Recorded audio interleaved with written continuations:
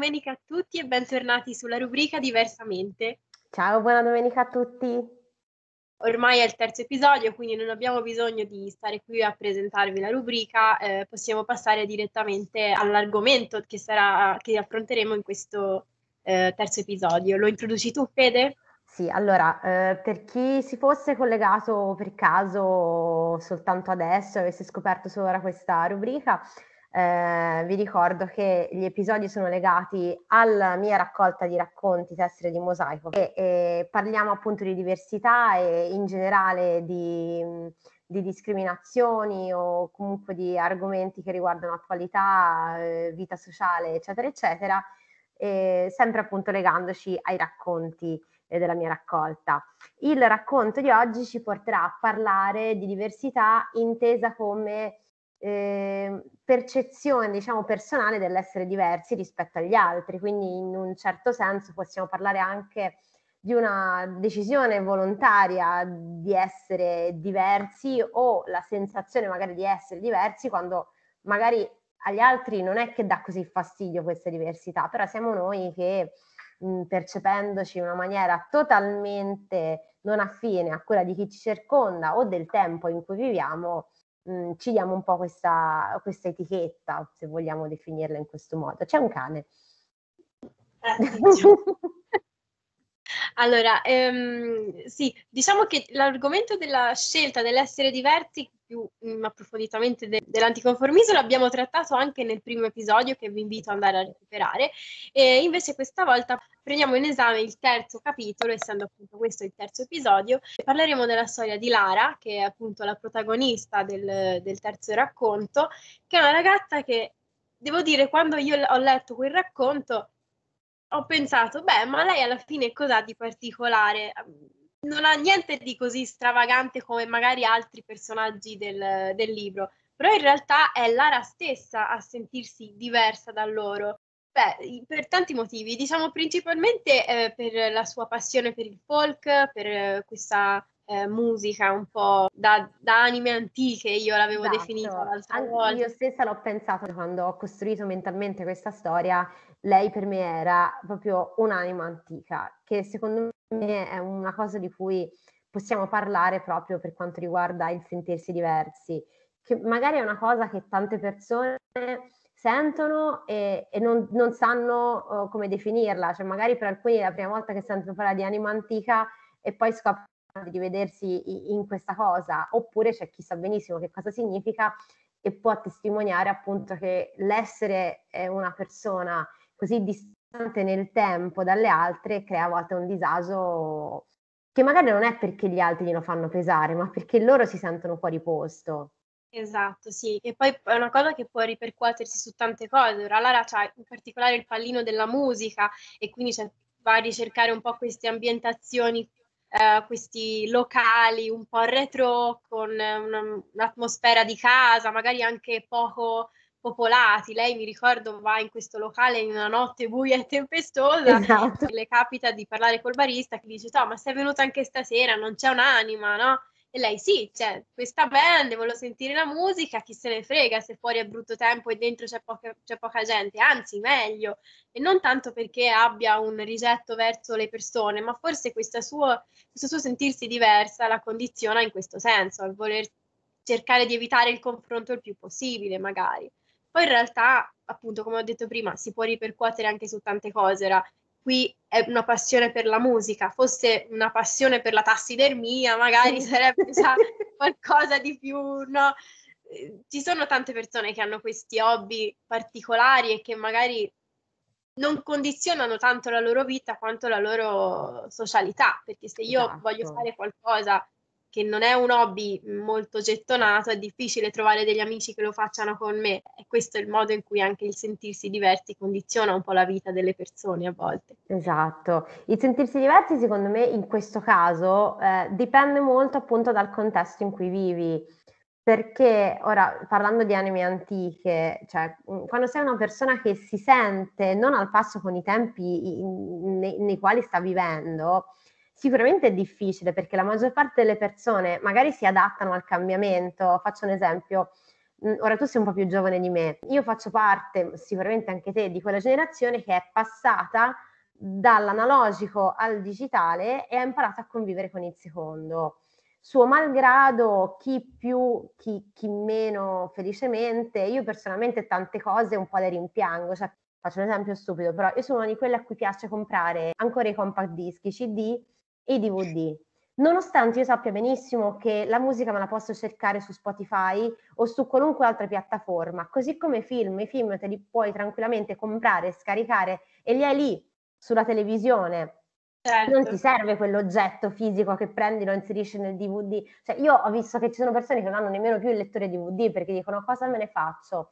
Ma a me piace questa cosa. Quindi io da questo punto di vista un po' rifiuto questa tecnologia perché mi piace avere ancora que- quella piccola forma, diciamo, di appartenenza ai miei tempi passati. Ad esempio, io ho l'ebook, ma in realtà i libri li voglio leggere in cartaceo. Esatto, quindi è una cosa ecologica, quindi non è neanche una cosa che, che faccio volentieri, anzi, addirittura proprio per dire, vabbè, almeno non, non, tagliano gli alberi a causa mia, vado spesso a comprare libri usati, io faccio molto book crossing, così mi sento meno in colpa, però eh, comunque sia mi rendo conto che sarebbe molto più sensato avere l'ebook in cui puoi mettere migliaia di libri che non eh, tenere la libreria piena, strapiena, che poi non esatto. sai più dove Che è comodo perché quando vai in vacanza e ti vuoi portare dei libri, ti porti l'ebook che quanto peserà mai? È vero, è più comodo, ma la tecnologia in generale è molto più comoda.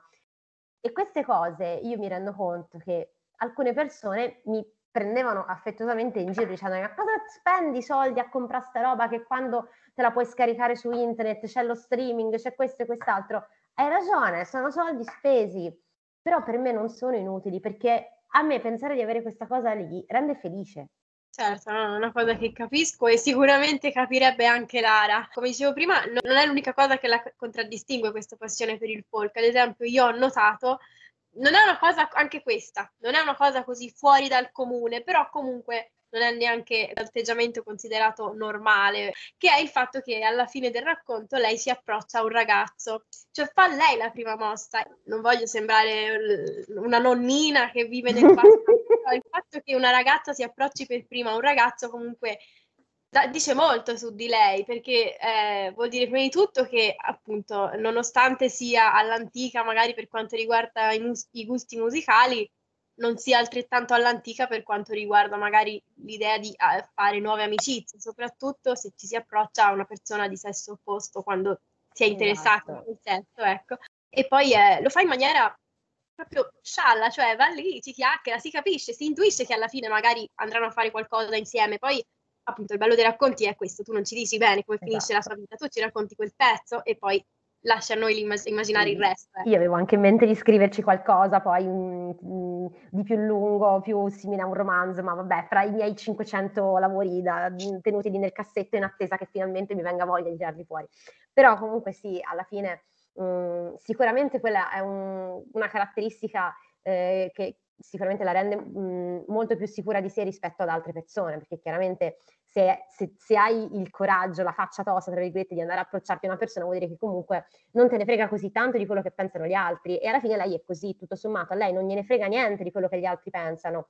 Lei si sente diversa e tutto sommato lo percepisce perché gli altri magari fanno le battute, dicono questo, quest'altro, però lei dice vabbè, ma a me cosa, cosa cambia se tu pensi che io sia all'antica? Che, che, che, cosa me ne viene del fatto che tu mi prenda in giro perché ho dei gusti diversi o perché ho dei modi di fare che non ti tornano? Io sono così, sono diversa e lei è una di quelle persone che in quella diversità tutto sommato sta a galla. Sicuramente ci sono anche, anzi forse i più che si sentono diversi lo vivono magari come un disagio, poi anche qui dipende dal grado di diversità, però è molto bello perché Lara ad esempio, al contrario di Lucifero, che è il primo personaggio che nel, nel, primo racconto si è sentito diverso, e poi tutto il casino che è successo, però insomma lui è già più, non dico insicuro perché figuriamoci se Lucifero è insicuro, però comunque rimpiange l'essersi distinto perché gli ha portato a perdere le sue ali, l'ha portato nella posizione sfavorevole in cui si trova dopo. Con tanto che magari se avesse potuto fare quello che voleva senza perdere le ali l'avrebbe fatto lo stesso, però lui rimpiange proprio l'aver perso le sue ali per aver osato distinguersi. Invece lei non vive suo, la sua diversità come un disagio, è proprio un monito e lancia anche agli altri perché alla fine per quanto si muova in una cerchia ristretta di personaggi, perché appunto in questo racconto non ce ne sono tanti, fa vedere io esatto. sono così, prendere o lasciare, ecco. Sai, la differenza tra lei e Lucifero è anche che Lucifero vive la sua diversità mh, bene e male, nel senso che lui è compiaciuto di se stesso, è una creatura superba, altrimenti non avrebbe osato ribellarsi, ma proprio perché lui è così diverso e non accetta i dettami del suo Dio rispetto a tutti gli altri, e lui è sofferente di questa cosa, per cui dalla sua diversità nasce una ribellione. La diversità di Lara nasce in realtà da una cosa completamente all'opposto, cioè da un rapporto con il padre molto intimo e molto positivo. Quindi spesso cer- certe cose che noi ci portiamo dietro, che magari ci rendono diverse dagli altri, eh, sono semplicemente il frutto di esperienze alle quali siamo talmente legati o che ci hanno fatto talmente bene da è come se piantassero un semino dentro di noi che poi germoglia e dentro di noi quindi cresce un qualcosa che, che alla fine ci condiziona per tutta la vita, in questo caso fortunatamente in positivo. Certo, anche non c'entra niente, ma mi ha fatto venire in mente una cosa che è uno dei mantra che ripeto sempre quando vedo la gente magari scrivere nei commenti di Facebook il solito, sai, vomitume d'odio, no? sì, certo. Cose come hanno fatto questo tipo di molestia e questa persona ha reagito in, mo- in questo modo. Eh sì, però bisogna essere forti, bisogna avere carattere. Ecco, questa cosa che hai detto del semino è giusta, perché quello che io dico sempre è sì, ok, è vero, io probabilmente dovrei avere un carattere più forte, sapermi difendere, essere consapevole del mondo in cui vivo, però non si sa mai come quello che le persone eh, fanno a me, dicono a me, che come potrebbe farmi reagire, ecco, quindi non si sa mai come eh, qualunque azione, qualunque esperienza viviamo, qualunque azione subiamo, non si sa mai come, cosa vada a scaturire dentro di noi e quindi esatto. eh, beh, per questo sarebbe eh, comportarsi sempre bene o quantomeno avere un limite da non oltrepassare. E... Sono tutte esperienze troppo intime, quindi non puoi dare per scontato che la risposta standard debba essere una. E quindi sì, cioè, anche per me è sensato dire sì, dovresti essere magari più forte, nemmeno più forte, però più resistente, dovresti rispondere in maniera diversa a questo tipo di attacchi. Ok, sì, hai ragione, va bene, ma tu mi stai dicendo questa cosa perché la vedi dal tuo punto di vista. Dici dal tuo punto di vista di persona che magari pensa che reagirebbe in maniera diversa, io dovrei essere così. Va bene, ma il mio vissuto, secondo te, mi permette di avere questo stesso tipo di reazioni che hai te? A volte la risposta può essere sì, a volte può essere no. Infatti, qui appunto, e qui casca l'asino, che appunto siamo tutti diversi e quindi tutti con un vissuto personale. Ora, questa storia di Lara mi ha eh, ricordato un pochino, non so se hai presente quel libro di Nicholas Sparks che si intitola L'ultima canzone, da cui hanno tratto il film con Miley Cyrus e Liam Hemsworth. Allora, l'ho presente, è nella libreria, ma non l'ho ancora letto. um, in pratica è la storia di questa ragazza che è un po', infatti interpretata giustamente da Miley Cyrus, che è un po' una scavetacollo, un po' una selvaggia, un po' maschiaccia, solitaria, no? Si capisce che mm-hmm. ha un trauma per qualcosa e poi si scopre che sono i genitori separati, insomma, ha un vissuto particolare e eh, andando avanti con la lettura e poi anche nel film si capisce che lei e suo padre suonavano al pianoforte, poi quando sono, i suoi genitori hanno divorziato, lei ha smesso di suonare, suo padre è un bravo pianista, se non ricordo male, non ricordo se lo insegna, se lo suona da qualche parte, ma insomma, lei va per le vacanze a casa del babbo e lui ha questo pianoforte e lei per tutto il film non lo tocca. Poi a un certo punto lei c'è la storia d'amore perché ovviamente è di... È Nicola Sparks, quindi Nicola insomma Sparks, non ci si poteva aspettare diversamente. Esatto. E quando la sua vita si tranquillizza, lei riesce a riallacciare i rapporti col padre, si, si calma un po', eh, trova questo fidanzato, che cavolo è lì a Mansworth, no? Si, si, si rilassa e allora questo suo blocco, questo suo blocco della musica eh, va via e lei ricomincia a suonare. Cioè proprio mi ricordo la scena del film dove c'è Miley Cyrus con quel faccino tutto compiaciuto, torna a casa dal suo papà e gli dice oggi ho suonato di nuovo.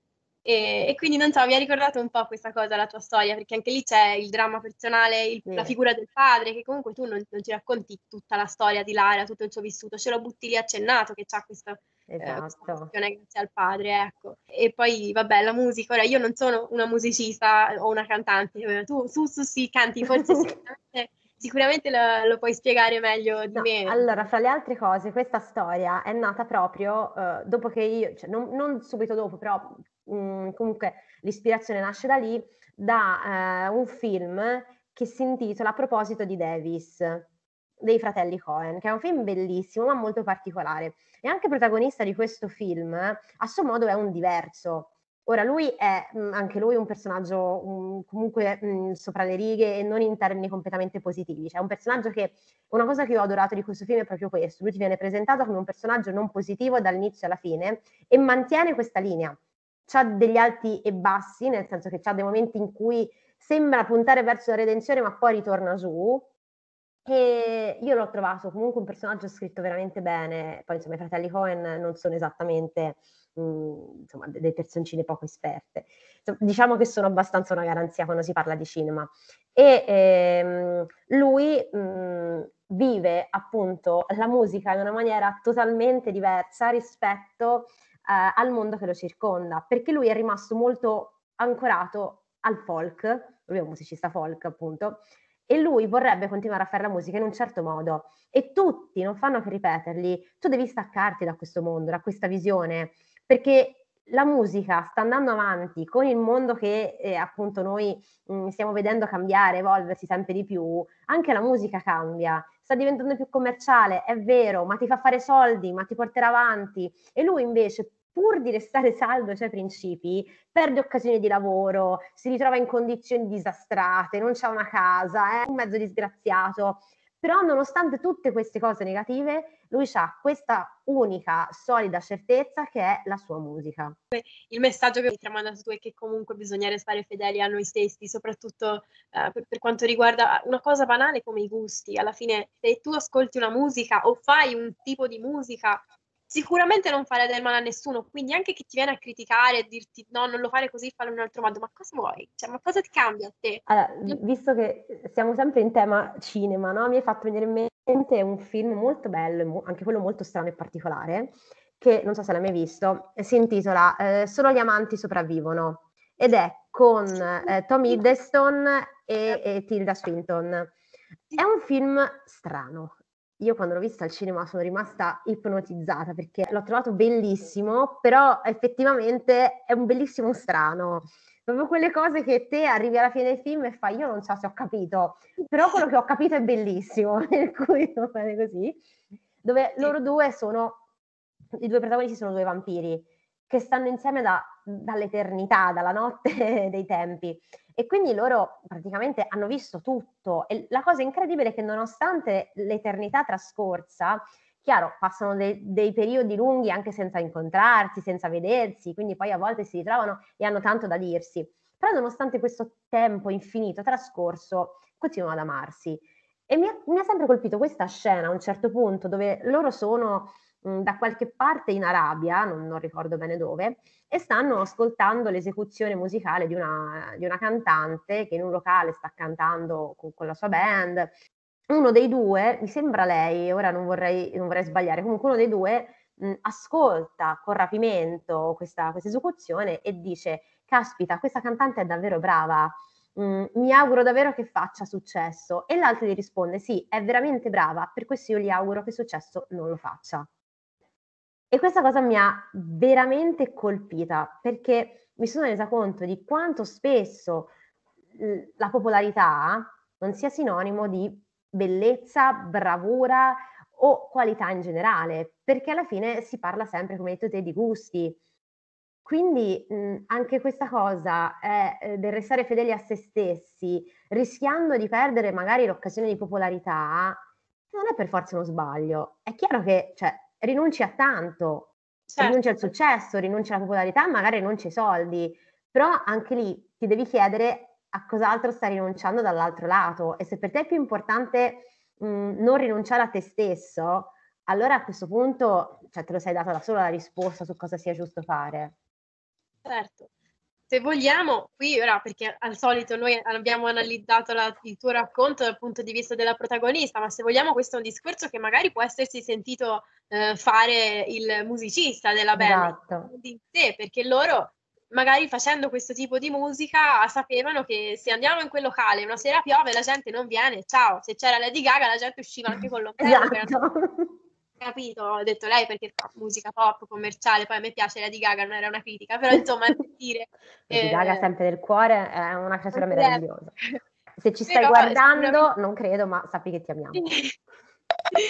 eh, sicuramente, eh, nel senso, um, a, a, Lara è piaciuta così, piace così tanto questa musica che lei ha deciso di andare lo stesso e fregarsene del maltempo. Ora, magari ci sarà anche stato qualcun altro ad ascoltarli, non penso che il locale fosse veramente vuoto con solo Lara no, e il barista. Però diciamo che appunto sì, essendo qui i, i personaggi secondari sono la, la, band e il cantante, mi pare, lei alla fine vada a parlare con sì, il cantante. Esatto saranno appunto discorsi che loro in quanto musicisti si saranno sentiti fare spesso, ma perché non fai qualcosa di più commerciale, alla gente piace, uno deve scegliere se fare ciò che piace alla gente o ciò che piace a lui stesso. Ecco. Questa è una cosa che mi ha detto anche un, un mio caro amico, vedi come parlare di questo argomento poi apre a, a migliaia di, di, cose da raccontare. Un mio amico che lui è nel suo campo bravissimo, lui ha studiato teatro, recitazione, canto, musical, e lui lavora in questo settore e molto spesso eh, lui ha provato eh, un senso di frustrazione comprensibile nel vedere quanti sono gli artisti che escono fuori da questi talent, quindi dai vari amici di Maria, i vari X Factor, The Voice e quant'altro, che magari a livello qualitativo per una persona che ha studiato e quindi ha un certo livello di, di competenza, da quel punto di vista non sono granché. Mentre persone come lui, che sono bravissime, e io cioè, lo posso dire, lui è veramente bravissimo, non lo dico solo perché è un mio amico, ma perché lo è, si vede spesso mh, comunque eh, precluse certe occasioni perché non è commerciale. E il problema è sempre questo, se non vendi, se non sei per tutti o quantomeno per la maggioranza, eh, non, non ti possiamo prendere in considerazione. Però magari hai dei contenuti anche più validi di chi è per la maggioranza quindi per, perché ci deve essere questa, questa mancanza di possibilità a chi è veramente bravo, però non ti dà la certezza del successo? Perché purtroppo viviamo in una società dove eh, il, il capitalizzare e il fatturare è sempre più importante del resto. Fai conto che io alla mia ultima presentazione del mio libro, che appunto eh, io scrivo romanzi storici, quindi già un settore di nicchia di per sé, perché non eh, è sì. di tutti. Poi sono un emergente, quindi la nicchia è ancora più stretta. E, e poi oltretutto sono, mh, non sono romanzi storici nel senso che sono ambientati in un'epoca, ma la storia è inventata da me. Sono romanzi quasi biografici di famiglia o di personaggi. Sì, cioè non, non è che, che, usi uno sfondo storico per, per fare l'armoni del, del XIV secolo, ecco, ah, mettiamola così. Non mi piace leggerli, non mi piace scriverli, diciamo scrivo perché ne sento la necessità, non perché voglio vendere. Fai conto esatto. che il mio esatto. primo romanzo, che è uscito l'anno scorso, l'avevo scritto a 18 anni, messo in un cassetto e mai più guardato. È stato il mio ragazzo a dirmi perché non provi a pubblicarlo non era neanche i miei interessi, capito? Quindi proprio per dire quanto me ne può fregare a me di venderli sti libri. Mi fa piacere se ormai che sono stampati qualcuno li prende, però diciamo scrivo per me principalmente, no? E alla mia ultima presentazione, appunto, il, il, capo della mia casa editrice mi fa: Ma perché non romanzi un po' di più? Non ci metti anche qualcosa di fantastico alla Tarantino, che alla fine di Costa di Santa Gloria ha ammazzato, eh, Hitler, no? E io ho detto: Perché io sono una ispiratrice storica, già tanto che te lo romanzi e ti ci mette i dialoghi per me. Io se no scriverei solo quello che è successo davvero, avessi una palla di vetro, di cristallo, no? Figurati se io mi metto io lo so che sarebbe sicuramente più, più accattivante, che alla gente farebbe fare wow, no? Però non è nei miei interessi. Quindi capisco pienamente il discorso. Eh. È una cosa che la gente spesso fa fatica a capire. Mi sono resa conto che per molte persone l'ambizione è, diciamo, la, la prima delle virtù. Quando a volte, e, e, non dico che essere ambiziosi sia sbagliato, ovviamente lo è quando lo è inteso nel, nel senso più negativo possibile, perché quando la tua ambizione ti acceca al punto tale da diventare una persona che ostacola il prossimo, a quel punto, cioè, secondo me non è assolutamente una cosa di vantarsi. Ma in generale l'ambizione non è un male. Quello che tanta gente secondo me non si rende conto è che ci sono persone che non sono ambiziose e non esserlo, ora, non esserlo proprio completamente, nel senso non me ne frega niente di dove va la mia vita, no. Però persone che non sono ambiziose nel, nel massimo senso di questo termine, cioè che dicono io voglio fare questo nella mia vita perché mi rende felice. Punto. Quando riesco a fare questa cosa mi fermo. Se ci sono altri dieci livelli, a me non interessa, mi basta fermarmi a quel primo gradino. Ma ci sono persone che questa cosa non, non, capiscono come sia possibile e quindi quando tu gli dici ma io sto bene così, no però se tu facessi, ma a me non interessa farlo, io sto bene qui dove sto. E forse anche questa è una cosa che tante persone eh, provano e le fa sentire magari diverse in senso negativo, perché quando il mondo intero ti dice devi fare di più, devi fare di più, devi fare di più, e tu ti senti di non volerlo fare, boh, a chi è che non viene il dubbio, ma forse sarò sbagliata io? Certo, beh, penso quasi a tutti.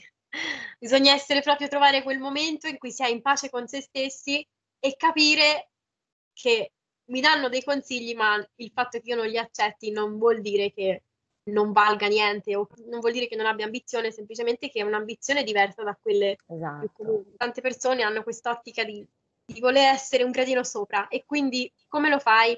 Attraverso il successo. Il successo fondamentalmente oggi sono i soldi, sono la popolarità, uscire in strada, essere riconosciuti. Quindi a volte si perseguono anche ambizioni giuste in modo un po' squallido. Ora, se penso proprio prima, stavo leggendo il, sul profilo di una book blogger, eh, stava criticando le persone, principalmente gli autori, uh-huh. si parla di autori, perché lei è appunto una book blogger, eh, gli autori, ma anche gli sceneggiatori delle serie tv e dei film, perché mi ricordo un discorso simile, lo lessi anche inerente a un episodio del Trono di Spade. Criticava le persone, gli scrittori di qual- qualunque prodotto cartaceo che ehm, inseriscono scene di grande hype, come anche uh-huh. gli studi, principalmente quelli, in, in contesto, cioè completamente fuori contesto, giusto perché non so cosa metterci, ci metto quello. Infatti mi ricordo eh, quando ci fu l'episodio di Sansa Stark stuprata da Ramsay, Ramsay Bolton, che nel libro non, non c'è. Eh, non ho letto i libri, quindi mi fido di, di questo, non, non, lo so. Eh, un, non c'è ancora, poi sai, devono ancora uscire tanti libri, quindi magari non uscirà. Forse lui prenderà ispirazione dalla serie e, e deciderà di farlo. E lì lessi l'articolo, un articolo che diceva, cavolo, ce l'hanno messa così a gratis, giusto per far vedere che lui era cattivo e che lei era poverina, mm. cioè, perché? E, ed è appunto, ma ce ne sono tantissimi altri espedienti che la gente utilizza per fare scene o del produrre grande hype nei lettori, anche se penso a tutti i romanzi che sono usciti in cui si parla di Covid, e il, tra- il dramma delle mascherine, il dramma dell'essere divisi. Io non sono tanto per, per queste cose, perché poi mi sembra ne leggi uno, ne leggi tutti. Alla fine possibile che durante il Covid tutti siano diventati scrittori perché raccontavano la loro esperienza quotidiana nel senso non succedeva niente, eravamo tutti in casa. Io penso che per quanto siamo tutti diversi, bene o male abbiamo avuto le stesse esperienze. Poi è chiaro, certo. sarebbe da aprire un capitolo su quelli che erano soli, su quelli che erano depressi, su appunto i, i, vari modi di viverlo, però bene o male quello che facevamo era lo stesso per tutti, a parte per chi poteva lavorare e uscire. Quindi tutti questi romanzi usciti in cui si parlava di Covid mi sono sembrati un po' cercare un appiglio facile per, per vendere, poi sarò sì, io che...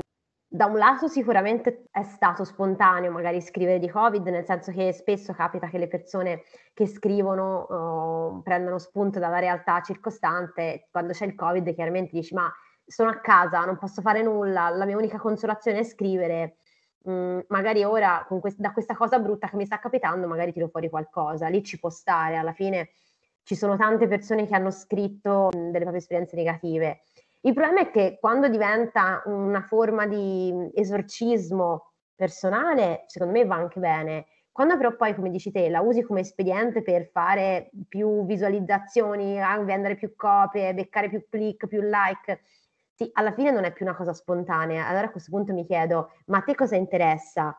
Il, il, successo inteso come visualizzazioni, come soldini, o ti interessa essere una persona che manda dei contenuti sinceri e, e nei quali credi davvero? Anche perché bisogna vedere se c'è una rielaborazione tramite anche la propria fantasia di questi fatti qua. Che se io leggo un libro che è una storia, un romanzo di formazione, mi si infili uno stupro così senza più giustificarlo, senza parlarne, senza mi è capitato una volta, infatti ero scioccata di questa cosa, ho detto ma come? Non ha neanche senso perché dopo non si ripercuote sulla vita del, della protagonista, non lo affronta lo suo periodo, ma come? Stessa cosa di quando infilano qualsiasi cosa inerente al Covid. Un, un autore, Graziano Caminiti, l'autore dei eh, dei gialli, il gioco delle coppie, il primo uh-huh. e oggi il secondo, l'ho, l'ho intervistato, ne parlo brevemente per questa cosa. Uh-huh. A lui chiesi se il Covid in qualche modo l'avesse ispirato e lui mi ha detto sì, ma non perché ha scritto di Covid, perché il fatto di stare chiuso in casa l'ha ispirato a scrivere un racconto horror dove ci sono dei protagonisti in, di rinchiusi dentro a un cinema. Ecco, questo mi sembra un ottimo modo di prendere un'esperienza vissuta anche comunque da tante persone, non solo da lui, e riproporla in chiave assolutamente data, no? È stata una cosa molto intelligente. Poi, in, generale, appunto, cioè un espediente narrativo ha senso quando è funzionale alla storia, altrimenti se devi fare le cose così citando Boris e mettere la roba così debotto senza senso, cioè no, per favore no, vi prego allora davvero restiamo fedeli a noi stessi al prezzo di continuare a essere persone che non si caga nessuno. Certo, ma anche perché comunque bene o male mi parli di Covid, io posso essere annoiata, ma mi parli comunque di Covid. Ma se mi parli di cose come stupri o violenze domestiche, sono argomenti molto sensibili che secondo me non, dovresti sciacquarti la bocca prima di parlarne se devi parlarne così, ecco. Esatto. Cioè, eh, buttarlo lì così gratuitamente per riempire le pagine è di uno squallore. Nemmeno, nemmeno da dire perché, vabbè, non hai fantasia, allora mettici quello. No, piuttosto non metterlo, perché non è questo il modo di affrontare il tema. Parlavi di Covid e stavo pensando, no? ritornando a monte, quindi sul discorso del, della diversità vissuta personalmente, quindi come la diversità di Lara come probabilmente il Covid abbia portato in evidenza mh, queste persone qui, cioè queste persone che magari eh, si, mh, non dico si chiudono in se stesse, però magari si crosolano nella propria diversità mh, e in alcuni casi quando non hanno la possibilità di confrontarsi con altri magari rischiano di farla diventare una cosa negativa. Perché ora parlando di Lara, no? Lara alla fine Ora, al di là del fatto che il Covid chiaramente non, non tocca nessuno dei, dei, miei racconti perché è stato scritto prima e perché comunque non era mia intenzione farlo, non, non l'avrei fatto comunque, però insomma lei quindi essendo totalmente libera dal Covid non ha mai avuto il, nemmeno il sentore di doversi chiudere in casa, no? Però lei ha di, di buono il fatto che mh, comunque è una persona sicura di sé, che tutto sommato le persone che ha intorno, nonostante il prenderla in giro, bene o male, la supportano, la sua è una diversità appunto della quale lei si è mh, diciamo investita personalmente che però non, non la porta diciamo a sentire il, il, disagio. Mi è venuto in mente di quante persone invece magari si sentono diverse da altre e a volte è una questione mh, di esperienza personale, talvolta anche caratteriale, cioè mi vengono in mente tutte quelle persone che sono da considerarsi timide, molto chiuse, che faticano a socializzare con gli altri, e che poi magari rischiano di rimanere talmente tanto coinvolte dalla propria diversità da mettere davanti a sé uno scudo e quindi rifiutare qualsiasi contatto con il mondo esterno e non avere nemmeno la possibilità di capire che la loro diversità non è vista necessariamente dagli altri come un male. Non so se mi sto spiegando, mi vengono un po' in mente appunto quelle situazioni in cui mh, mhmm, la diversità eh, diventa un pericolo per se stessi nel momento in cui ci si autoconvince che gli altri la vedano come tale. Avevamo, abbiamo esordito dicendo che Lara ha, probabilmente ha passato una fase del genere e poi l'ha superata e si è messa in pace con se stessa. Però appunto ci sono, io come ho detto prima, penso che i più, quando si sentono diversi, possono, vi- possono viverlo in un ventaglio di modi così ampio che sarebbe anche difficile starne a parlare.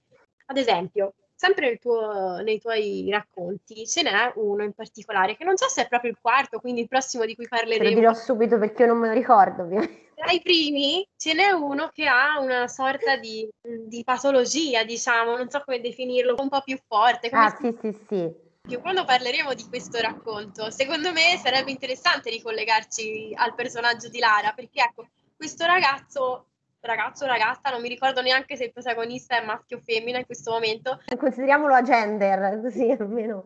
Non... Questo protagonista asterisco, esatto. com'è che si chiama questa patologia? Che lui sente tutto molto intensamente, sia le paure, le, le fobie, l'eccitazione, qualunque allora, sensazione. Sono, allora, qui potremmo aprire un mondo, però eh, lancerò solo dei piccoli input per poi parlarne un modino. Allora, ci sono le persone ehm, altamente sensibili quindi le cosiddette PAS o in inglese eh, Highly eh, Sensitive Person, che sono persone che eh, appunto hanno questa capacità di percepire tutto, ma non solo le emozioni, quindi gli stimoli in generale in maniera molto più intensa degli altri. Giuro che non è una cosa detta tanto per, eh, ah vabbè, ma io sono, più, sono speciale, perché non è così, ci sono stati fatti proprio degli studi sul fatto che queste persone hanno delle stimolazioni nervose diverse e hanno delle aree del cervello che si illuminano in maniera differente. Per farne un esempio, non è, non è, la cosa che avevo pensato nei confronti del, del, personaggio del mio racconto, però per dire le persone autistiche, tante persone Asperger, hanno questa tendenza a volte a sentire troppo e ad avere una percezione degli stimoli molto superiore rispetto a quella che abbiamo noi.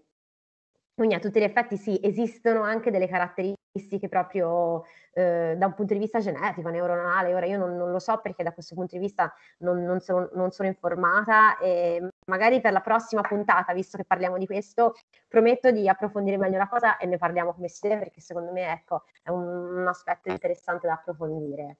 Molto interessante e l'ho tirato fuori proprio perché l'intero capitolo è incentrato sulla sua percezione di questa sua, questa sua condizione. Ecco, io, io, non mi ricordo neanche, perché lo devo rileggere, mi devo preparare per l'episodio, non mi ricordo neanche su, se succede effettivamente qualcosa, ma mi ricordo che è veramente angosciante perché è lui, lei che... Eh, che parla di questo suo sentire troppo e questo sentire troppo lo fa sentire male fisicamente esatto. proprio. Quindi chissà se questa persona in realtà eh, sicuramente, non so, faccio un esempio stupido, se lui sente troppo perché è il super udito e lo disturbano i, i, suoni esteriori, ovviamente starà fisicamente male perché starà tutto il giorno come Psyduck, però sarà comunque... Immagine bellissima.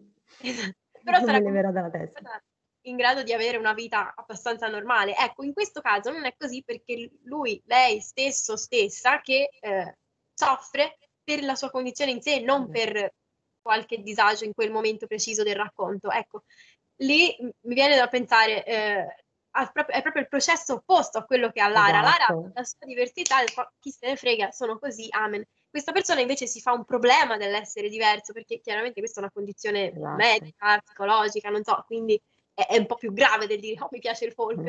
però comunque sia, non, cioè, penso ah, no, che non... tutto il personaggio dovrebbe lavorare su se stesso in quanto dire un attimino calmiamoci perché... Allora, non ne, voglio, non ne, voglio, parlare ora perché non mi voglio bruciare tutta la prossima puntata che secondo me invece è ricchissima di cose. Però vai, vai. ecco, mh, mm, su questo posso dire che la percezione che noi abbiamo, al di là del discorso del, della condizione dell'essere altamente sensibili, eccetera, la percezione che noi abbiamo incredibilmente eh, è in grado di creare delle distorsioni della realtà enormi. Cioè, io parlavo con la mia psicologa, a volte io le dico, ah, io ho questa sensazione che certe persone pensino questo, e lei mi ha detto, ma queste persone te lo hanno detto?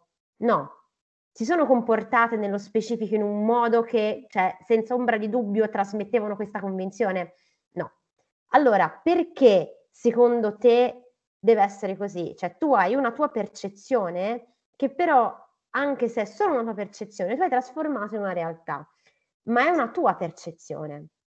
Quindi mi rendo conto che ci sono delle persone, faccio un esempio sciocco, perché noi siamo entrambi amanti di libri, scriviamo, leggiamo, e, cioè non voglio spezzare una lancia a favore de- della categoria, no?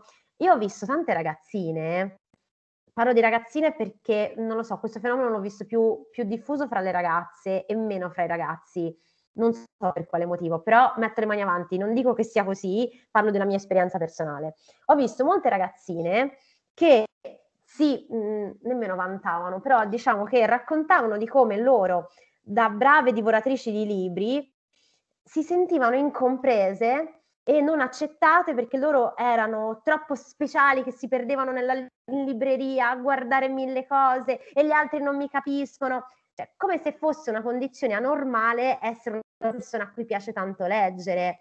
E questo ho visto che le portava a chiudersi in se stesse, magari a fare, tipo a rifiutare di uscire con le amiche perché no, vabbè, ma io non voglio andare a questa festa, io sto a casa a leggere.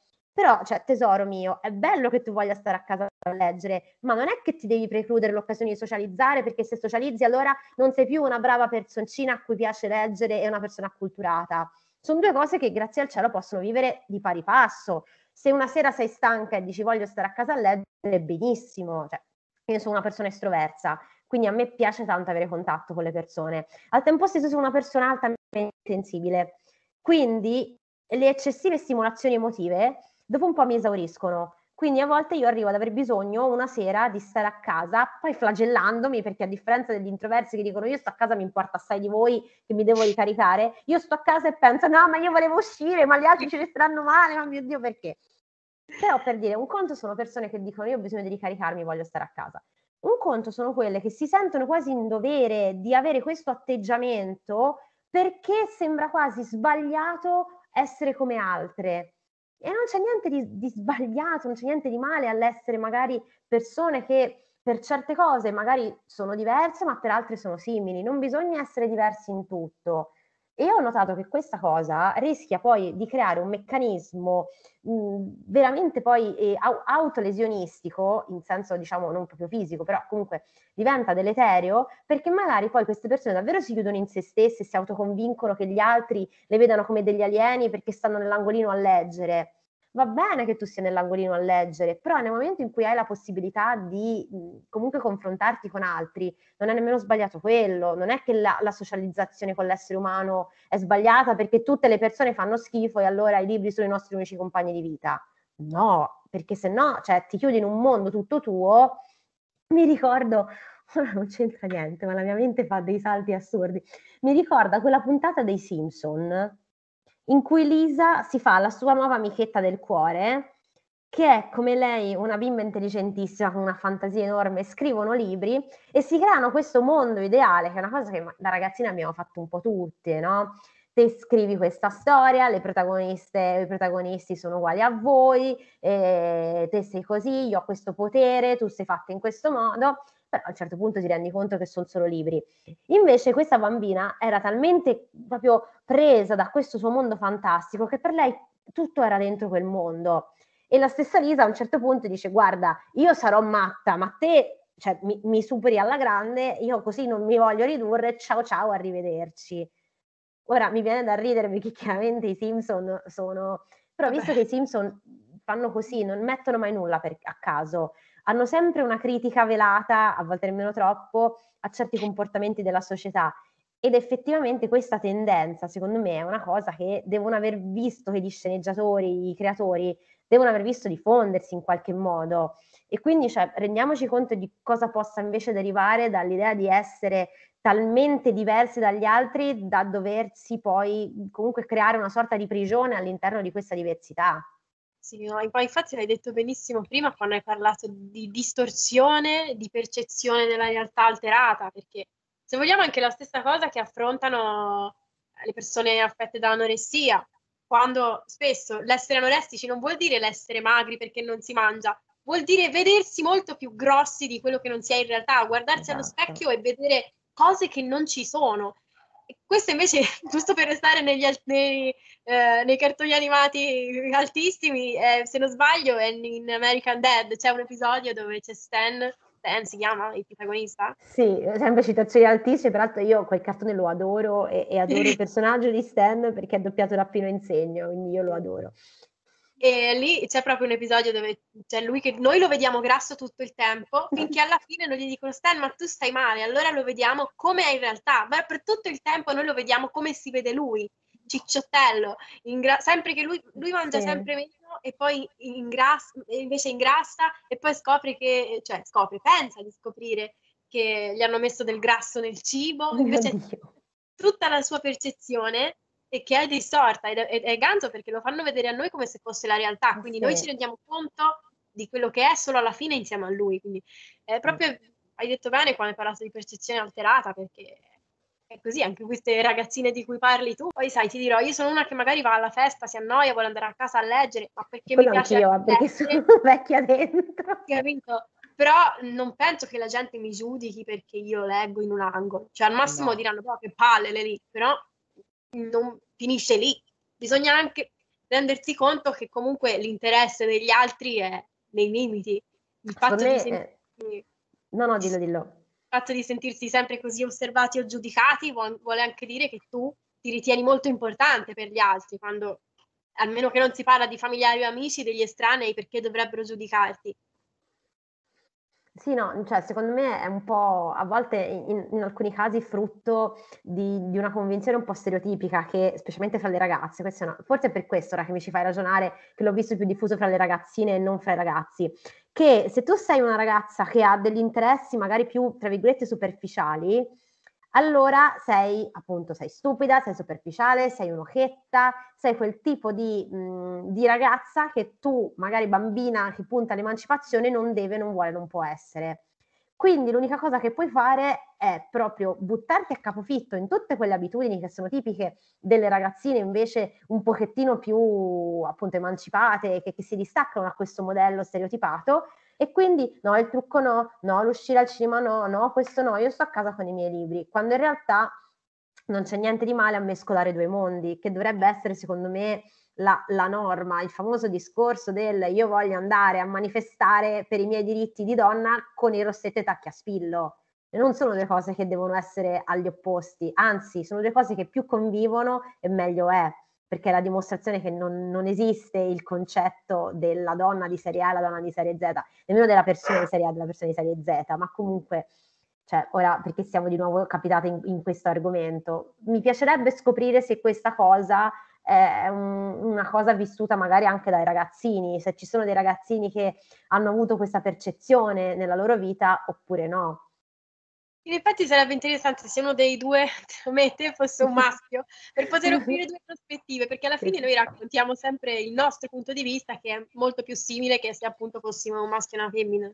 Diciamo Riccardo. Riccardo, se ci stai guardando, dacci i tuoi punti di vista e, e prima o poi fa, facciamo un'ospitata. Perché, sì, assolutamente. No, io è una, che, è una, cosa che, penso spesso, anche quando scrivo, magari scrivo di un personaggio maschile, mi faccio sempre il problema, ma gli renderò giustizia? I pensieri che io scrivo sono pensieri degni di una mente maschile? cerco sempre di dire è una persona, la persona intorno a questo ambiente, questa famiglia, quindi i suoi problemi potrebbero essere questi e lui potrebbe affrontarli in questo, questo e questo modo.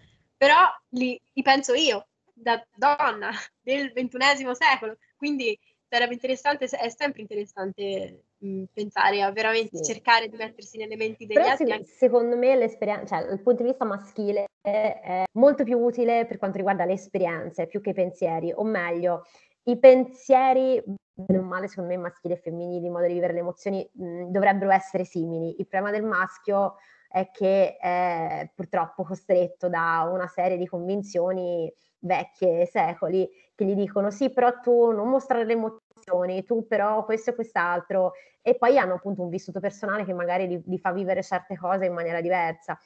Però secondo me quando, come, quando scrivi un, di un personaggio maschile, come dici te, la cosa fondamentale è pensare questo personaggio io come lo voglio rendere.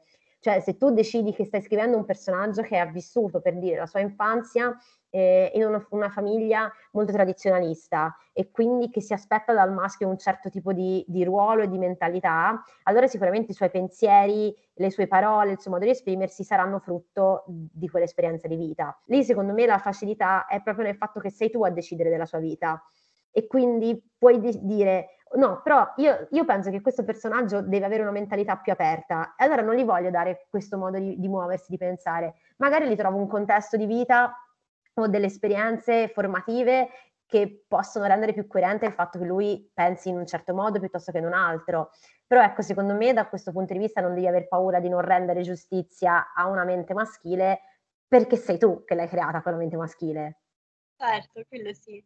Quello sì. Eh, ad esempio ora sto scrivendo di un personaggio storico che sono messa in testa di eh, farlo asessuale, semplicemente perché ho creato tutta una storia mia, per cui secondo me riuscirò a far avere senso questa cosa, a dare senso a questa cosa, ecco, e quindi lo vorrei creare così. Cosa ho fatto? Io non sono un uomo, non, non sono asessuale e quindi per quel che ho potuto mi, ho cercato di mettermi in contatto con, anzi ringrazio tantissimo Oleg che è il ragazzo che mi ha aiutata per creare questo personaggio, l'ho trovato su una uh, una chat room di asessuali d'Italia, insomma, poi vado a cercare tutte queste pagine particolari. Ho cercato mm-hmm. quando volevo fare, in, volevo fare una volta un protagonista sordo, una volta un bambino con autismo, mi sono iscritta su tutti i forum. mi piace essere preparata, ecco. Quindi... è giusto, è il lavoro dello scrittore è al 99% informarsi su quello che sta scrivendo. Ah, infatti, eh, però a maggior ragione se deve essere il mio protagonista, a cui devo dare una voce così diversa dalla mia, quindi... Mm. Eh, però oltre ad essere la mia voce diversa, sarà lo stesso protagonista in questo caso a sentirsi diverso dagli altri, perché comunque questo personaggio vivrà in una famiglia con molti maschi, cioè il babbo ha fatto 3.000 figli, ogni figlio eh, si è sposato magari più volte, ha figli in età molto mm. giovane, lui sarà adulto, parecchio adulto, con questa moglie giovane e carina e non avrà l'impulso di darle dei figli. e quindi io ho immaginato che la sua situazione fosse appunto come quella eh, di Lara e quella insomma di quasi tutti i, suoi, i tuoi personaggi di sentirsi diversi. Eh. Quindi per affrontare meglio questa diversità mi sono andata a informare su questo forum. Perciò non so, poi tu magari poi ci dirai bene per ogni, per ogni tipo di diversità come hai affrontato la cosa, se, poi tu, vabbè, ci hai detto fai l'assistente sociale, quindi sicuramente tanti temi li conoscerai già, però il renderli, il dare, dare, voce a questi personaggi è stata, come ho detto nel, nella recensione, la tua, il, secondo me il tuo più grande talento è stato questo, perché comunque non, non, ne hai parlato in un saggio, ne hai parlato attraverso dei personaggi. Quindi ecco, è interessante anche questa cosa. Io ti dico grazie non so rispondere perché, come ti ho detto già una volta, io non mi rendo conto di quando faccio le cose, io le faccio e basta. Poi mi rendo conto che la gente mi dice, eh, perché tu hai fatto questo, bello, bravo, hai fatto questa cosa. Io, sì, cioè io l'ho fatta, ma non ho la consapevolezza di come l'ho fatta, di quando l'ho fatta. Cioè, per dire, io respiro, è chiaro che respiro, se no sa- sarei a terra cianotica e, e, so che ci sono dei meccanismi che il mio corpo attiva per, per, farmi respirare, ma non li so spiegare, cioè io non lo so cosa fa fisicamente il mio corpo per produrre l'aria nei miei polmoni farmela tirare fuori, prendere e buttarla dentro e, e, farmi sopravvivere, però cioè, fortunatamente sono qui che, che, che parlo, quindi è veramente molto difficile per me. Però, boh, forse prima o poi farò un po' di, di, di, indagine dentro me stessa e troverò la risposta a questa domanda. No, mi fa molto ridere perché ora ti parlavi di personaggi, ora pr- prima di, di, chiudere, che insomma non so quanto siamo strette con i tempi, però stavo rendendomi conto che ci sono dei personaggi femminili protagonisti di certi romanzi che sono proprio quel classico esempio di diversità autoconvinta che dicevo prima, che il resto del mondo magari vorrebbe tranquillamente accettare, ma loro si impongono di, di, non doversi miscolare alla plebaglia. Uno di questi è, è Bella Swan di Twilight. Cioè lei secondo me è proprio, è proprio la, la perfetta rappresentazione di questa persona che decide che deve essere diversa, che gli altri dicono sì, vabbè, poraccia, cioè questa è una appena arrivata, è un po' strana, ma facciamola venire con noi, vieni bella, esci, stai con noi, andiamo a fare shopping. No, non posso. E si perde dietro a quella mebo di, di Edward Cullen. Cavolo, è vero, sì. Lei è vero. Tra l'altro arriva subito, gli si fa il gruppo di amici intorno e lei che è sfuggente. Subito! Che ora io il libro non me lo ricordo, ho letto il primo, ma non mi piacque, quindi sa, non saprei dirti. Però mi ricordo una scena del film che lei, il giorno dopo che lui non va a scuola, pensa, ah, è colpa mia che per puro caso è davvero colpa sua, ma in qualunque altro caso nessuna persona si sarebbe chiesto ma non è venuto a scuola per colpa mia, il mio compagno di banco, ma che, cavolo, che ne sai? Questo è il vittimismo. sì, è egocentrismo in maniera estremamente vittimistica, esatto. Sì, mania di persecuzione, cioè... Vabbè, sorvoliamo sul fatto, ora se apriamo la frase di Twilight è finita, sorvoliamo sul fatto che lei poi nel, seco- nel, secondo libro e film inizia a fare esperimenti e esperienze premorte per vedere Edward, quando la normalmente dice bella ma che cavolo stai facendo? Vieni, sopravvivi, vieni con noi, no non posso, devo andare a deprimermi e, e a cercare di morire perché forse rivede il mio fidanzato va bene, ok. Peraltro non parliamo di quanto sia, secondo me, anche un po' offensivo nei confronti di chi sperimenta davvero la depressione, vedere una che dice che è depressa e poi ha dei comportamenti che sono tutto fuorché depressivi, però vabbè, su questo è un argomento su cui si, si approfondirà poi le questioni più avanti. Diciamo. Però sì, cioè, sono tanti questi personaggi che, e secondo me sono proprio questi personaggi che rischiano di dare una cattiva influenza sul concetto di diversità, a volte inteso come tra, passami il termine, superiorità. Cioè, essere diversi non deve essere un, un vanto a discapito degli altri, perché se sei diverso non sei migliore, sei diverso, punto. Secondo me, appunto, essere, sapere di essere diversi per delle caratteristiche proprie va bene, è bello, è giusto. Eh, la cosa importante è sapere che tante diversità possono convivere. E se tu sei una Lara di turno, puoi avere degli amici a cui piace il rap eh, che non ha voglia di andare nei locali quando fuori piove a dirotto e che magari ti direbbe no, ma io col cavolo che vado a parlare con una persona che non conosco e fare eh, figuracce. Però cioè, si, può, si può essere comunque in relazione con chi è diverso da noi, fin tanto che le due cose non vanno a cozzare l'una con l'altra, cioè finché io rispetto la tua vita e tu rispetti la mia, è bello essere diversi insieme. Che bello. Io chiuderei qui per come questa, questa frase, guarda. non roviniamo il momento, basta, coroniamolo qua anche perché diciamo che abbiamo variato un po' di più stavolta perché in questo, appunto, in questo capitolo si parla di una diversità molto tenue, si possono anche fare meno esempi su, con fatti di cronaca, eccetera, perché appunto è un personaggio che è consapevole ed è in pace della propria diversità e in pace con se stessa. Quindi mh, non c'era così tanto da dire, mh, ne abbiamo parlato giusto appunto perché era giusto farlo, parlato, parleremo in tutti i capitoli e poi comunque è anche giusto ogni tanto metterci un po' di positività, visto che per esatto. lo più c'era tristezza e, e, sentimenti anche negativi, ecco. Sì, una, una volta ogni tanto che c'è qualcuno felice, insomma, sì. celebriamolo, sarà tipo, boh, effettivamente su 19 racconti sarà penso una delle poche persone veramente felici all'interno di questo sì, libro. Sì, lei e, e, Amelia nell'altro racconto. Sì, esatto. Disperati. Comunque... Giuro che scrivo anche cose allegre a volte, quando mi va.